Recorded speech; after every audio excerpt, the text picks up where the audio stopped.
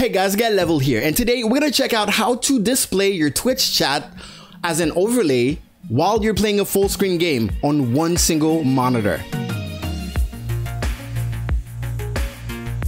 That's right, Streamlabs just came out with a new feature that allows us single monitor people, yes, I only have one single monitor and I still stream, to basically still have a look at our Twitch chat while playing a game full screen. So we don't have to be tabbing in and out and looking at OBS or, or like having a smartphone or a tablet to look at chat, all of that is over because now we can have a chat overlay on top of our gameplay. I have to admit, before this option, what I used to do is play my games not in full screen, but at a lower resolution just so I can also have uh, Streamlabs OBS in the background so I can look at chat from there. But now my problems are solved because I can play a game full screen and still have a look at Twitch chat, but also my events list. That's right, if you hear an alert, you don't have to tab out to see who followed, who subbed, who hosted, who raided, who cheered, okay? Because you also have an event list that you can have there. So you don't need to tab out ever. Again, just look at your chat and look at your events list. You can thank people for following and you can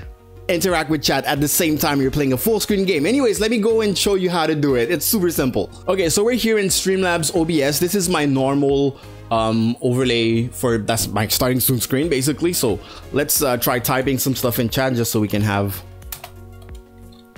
I have my Nightbot set up to say hi back when I say hi.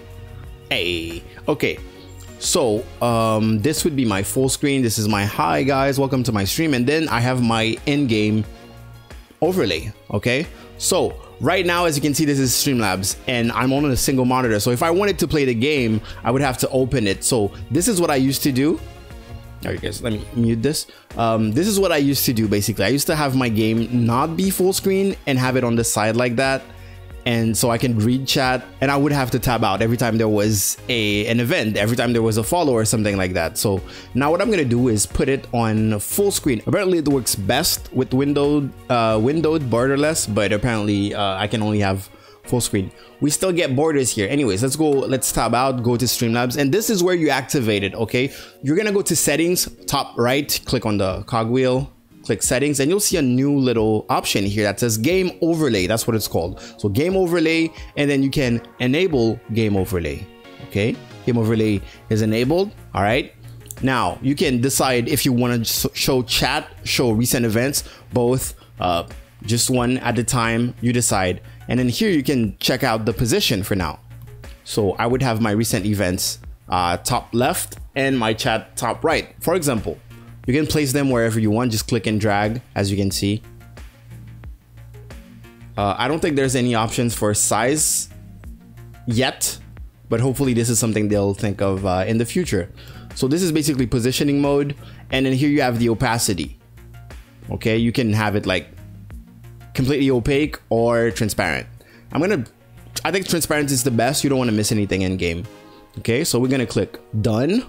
So once you have it set up, one thing you need to do absolutely is to set a hotkey for it in order to toggle it on and off because obviously you don't want that thing to be on your screen at all times. So we're gonna go to hotkeys and then we're gonna set a shortcut for that. So right here at the top, it will say toggle in-game overlay, toggle overlay positioning mode.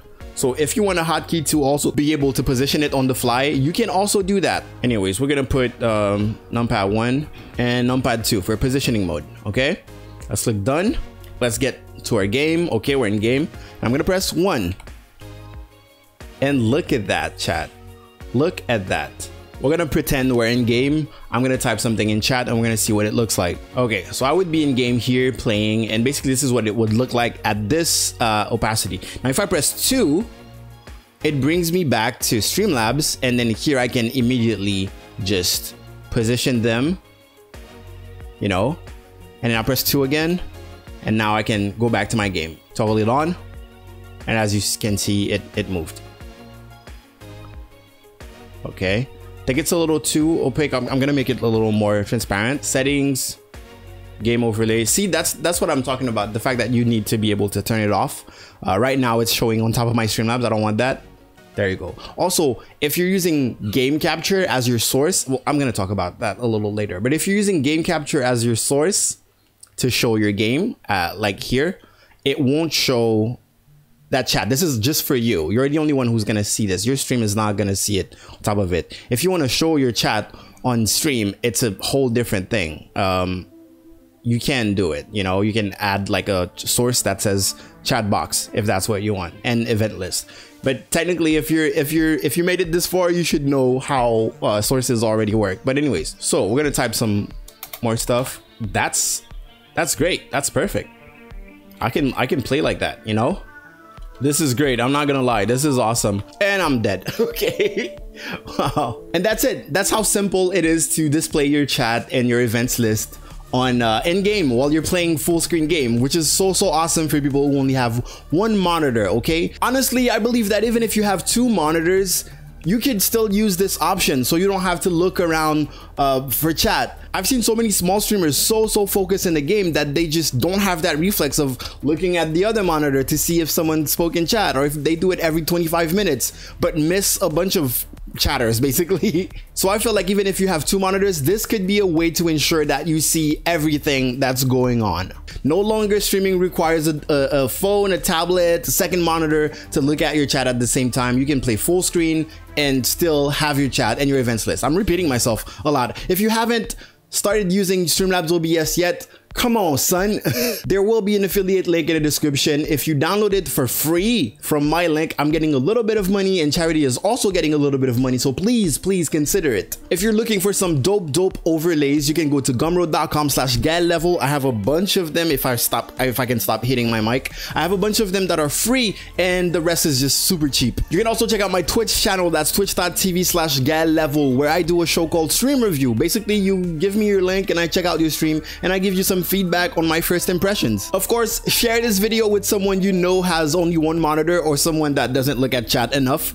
And I'm gonna thank you guys so, so much for watching. I will see you guys later. Go out there, make me proud, Gael Level out.